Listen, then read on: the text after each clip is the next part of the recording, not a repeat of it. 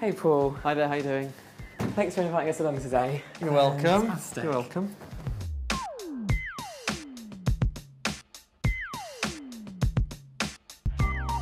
When people are going to propose, they want a, uh, something where some different way of getting an engagement ring to their f- to-be fiance. Um, and this is a way to do it. We can make a heart-shaped box and decorate that in any way we like, um, personalise it, and then if pop that down, we can make a small heart-shaped chocolate to encase the ring in. This is the chocolate. There's a lot here. There's about two and a half kilos of chocolate. Now this has been melting overnight, so we have everything in a big bain marie. So what I'm going to do, the tempering process is to get, you know, when you have a really good chocolate and it, you break it and it snaps and it's shiny and it's crisp, that's what we want to get back because this is now the structure's dissolved and destroyed.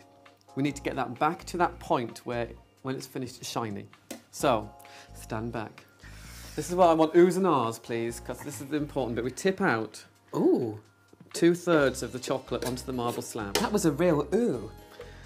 I would hear oohs and ahs from people at home. We're going to spread it out now. This is hot, hot chocolate, just melted chocolate. And by putting it on the marble slab, it cools it down.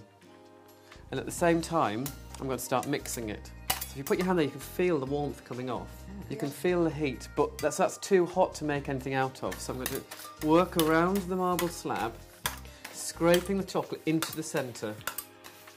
And the marble slab stays cold all the time, so it can cool the chocolate down. The chocolate has an amazing sheen to it. It does. It's, it's almost like a gloss. It is. Well, cocoa butter. Don't to get chocolate on you, there we go. Lots of cocoa butter, which is the natural oil from the chocolate, the natural fat in the chocolate. Um, and that does, the more there is of that, the shinier. I mean, if you look at this, it's very glossy, very shiny. It doesn't contain all those na- horrible, nasty artificial ingredients. But it does mean we have to keep it pure and clean. We don't, uh, you know, spoil it in any way. So now you can see the chocolate's got really thick.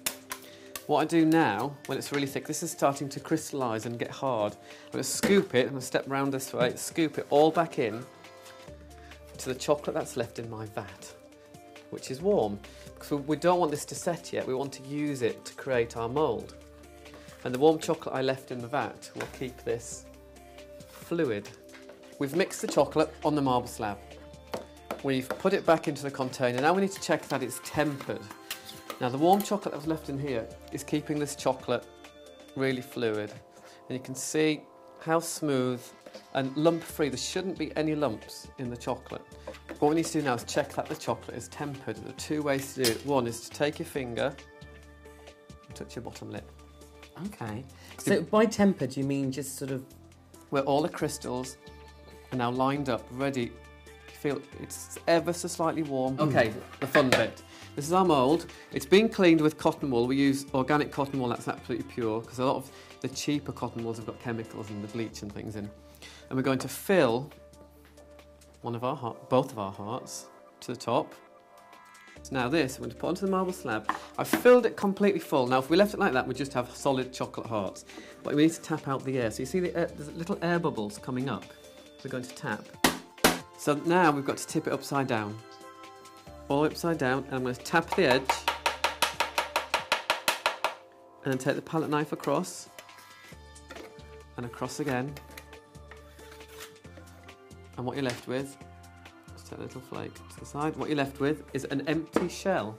This needs to go into the fridge, only for about 10 minutes.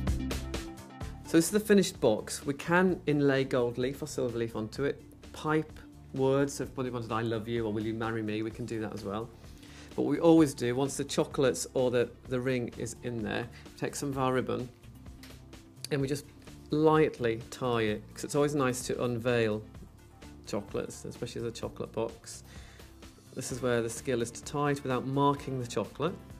and underneath that we'll put a little scroll printed with the message from the person who's asking the person to marry them, uh, and that will be positioned in a box. And I think, honestly, think that could it's probably the most personal and individual "Will you marry me?" gift